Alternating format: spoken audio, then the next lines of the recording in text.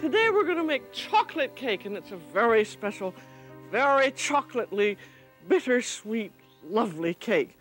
Julia was not a particularly remarkable beauty. She was middle aged with freckles, and her hair changed daily, but you were mesmerized, spellbound by what she was saying. People could relate to her. I learned how to cook at my age, and you can learn at your age to cook as well. Cooking is, well, lots of it is one failure after another, and that's how you finally learn. Now, shatter it. Just like that.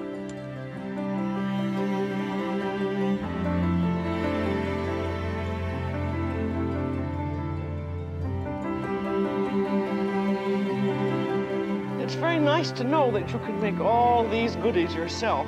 She opened doors for me as a person that I could cook. We're making the stew of stews, the bourguignon. We would watch Julia's show with my grandmother, and then Grandpa would go buy the ingredients and we would cook that meal.